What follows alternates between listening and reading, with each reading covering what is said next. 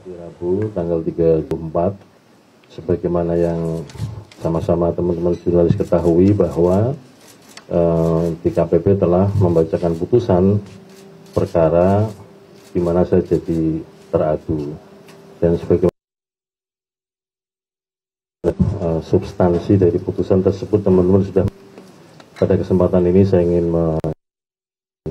mengucapkan alhamdulillah dan saya mengucapkan terima kasih kepada DKPP yang telah membebaskan saya dari tugas-tugas berat sebagai anggota KPU yang menyelenggarakan pemilu. Pada teman-teman berhubungan dengan ada kata-kata atau tindakan saya yang kurang berkenan, saya mohon maaf.